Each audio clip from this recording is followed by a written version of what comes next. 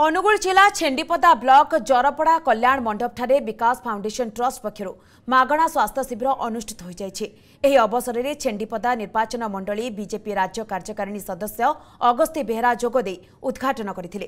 ଭୁବନେଶ୍ୱର ବଡ଼ ବଡ଼ ମେଡିକାଲରୁ ମେଡିସିନ ଅର୍ଥୋପେଡିକ୍ ଚର୍ମରୋଗ ଆଦି ବିଭାଗର ଆଠ ଜଣିଆ ଡାକ୍ତରୀ ଟିମ୍ ଏମାନଙ୍କ ସହିତ ନର୍ସ ଏବଂ ଫାର୍ମାସିଷ୍ଟ ରହି ରୋଗୀଙ୍କୁ ପରୀକ୍ଷା ନିରୀକ୍ଷା କରି ମାଗଣାରେ ସମସ୍ତ ଔଷଧ ଦିଆଯାଉଛି। ଆଖପାଖ ଅଞ୍ଚଳରୁ ବର୍ତ୍ତମାନ ସୁଦ୍ଧା ଛଅଶହରୁ ଅଧିକ ଲୋକଙ୍କୁ ସ୍ୱାସ୍ଥ୍ୟସେବା ଯୋଗାଇ ଦିଆଗଲାଣି। ବାରଶହ ଲୋକଙ୍କୁ ଏହି ମାଗଣା ସ୍ୱାସ୍ଥ୍ୟସେବା ଯୋଗାଇବାର ଯୋଜନା ରହିଛି। ଗୋଟେ ମେଗା ସ୍ୱାସ୍ଥ୍ୟ ସେବାର ମାଗଣା ସ୍ୱାସ୍ଥ୍ୟ ଚିକିତ୍ସା ସମସ୍ତଙ୍କୁ ଦିଆଯାଉଛି।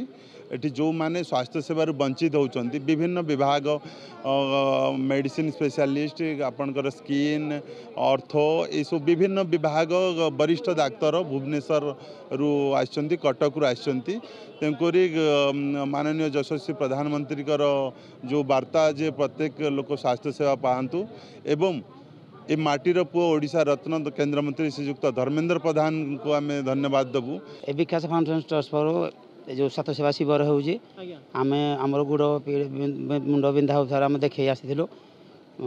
ମେଡ଼ିସିନ ଏଠୁ ଆମକୁ ଦେଇଛନ୍ତି ଭଲ ହେବା ପାଇଁ। ଆଉ ବହୁତ ଲୋକ ଏଠି ଜମା ହେଇଛନ୍ତି ପାଞ୍ଚଶହ ଛଅଶହ ଲୋକ। ସେମାନେ ଅଞ୍ଚଳ ସ୍ୱାସ୍ଥ୍ୟ ସେବା କିଭଳି ମିଳେ?